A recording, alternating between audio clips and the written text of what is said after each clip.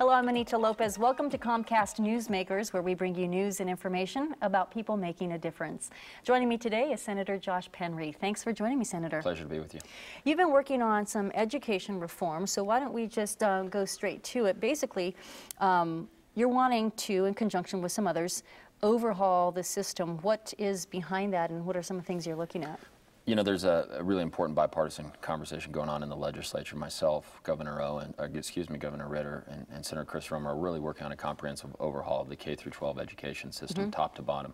And the dynamic is this: the, China and India, the developing world, are churning out engineers at an, an remarkable rate. There was a recent analysis by a Nobel laureate that said 90% of the world's engineer will live in Asia wow. within the next five years. And in, in, a world where science and engineering is the coin of the realm, we need more engineers. And so really we're trying to ramp up our rigor in our education system so we can compete with what's going on in the rest of the world and in the rest of the country. Because at this point we are outsourcing an amazing amount of workforce, um, which we could just be growing right here in our backyard. That's right. And when you talk to people in the high, high tech sector, the defense sector, the, which we have a significant presence here here in Colorado, they can't find the workforce.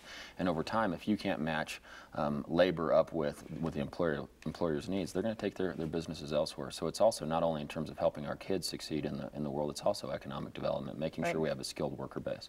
So when we're looking at the overhaul, is it, um, obviously it's not going to be only focused on improving the engineering backgrounds, right. but um, what are some other things that you're looking at to, you know, boost the overall quality of education and really funneling um, our students to prepare them for those prime spots? Well, uh, the first thing we're doing is over, triggering an overhaul of the model content standards, and that's a complicated weighing of the model content standards just measure what we want kids to know at a grade level or when they take a specific course. Those content standards haven't been updated since 1992. A lot's changed since then, so that's the first thing. The second thing is the instruments we use to test kids, commonly known as CSAP, need right. to be modernized and evolve to meet the, both the, to match both what we're teaching them in these model content standards and to make them more useful to teachers. For example, if you talk to teachers now, one of the problems with CSAP is they don't get the information back um, for about six months, and so by the time the student has moved on to the next grade, they find out where they're deficient, there's not that opportunity to come back and address them. So we're really working on trying to modernize the assessment, in this case the CSAP,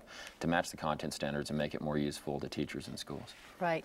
Now, you were talking about also um, creating a way to um, automatically, I, I guess, provide an incentive for kids to not only go to college, right. but you know get entry into a college as well by another um, idea, or I don't know, is it a, a program that, that you have in mind? Well, we'll have this, we're, we're going to update the model content standards and uh, update the assessment. The third piece of what we're working on with the governor and others in the legislature is to really create a gold standard um, graduate, statewide graduation diploma that's a really rigorous track in terms of math and science and English, the, the core areas. It's, it's modeled after a program that's been in New York for a long time, the New York Regents program. Mm -hmm. um, and so for the kids who, students who get on that track, they're going to really receive uh, an incredibly rigorous um, education on the K through 12 side, and a piece of that over time would probably be a guaranteed admission into a state college or university, and maybe over time you can evolve the program to include scholarships so that we really incentivize kids to get into the most rigorous programs, again, so they can personally compete in this global right. economy, but also to make sure as a, as a society we're keeping up as well.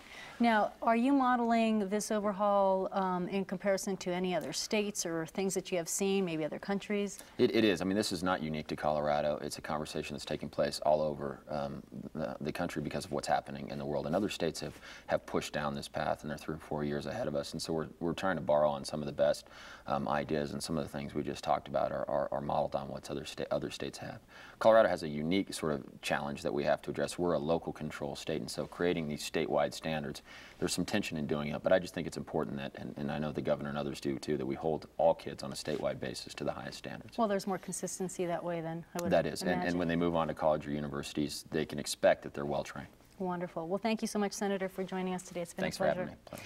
I'm Anita Lopez, and you have been watching Comcast Newsmakers.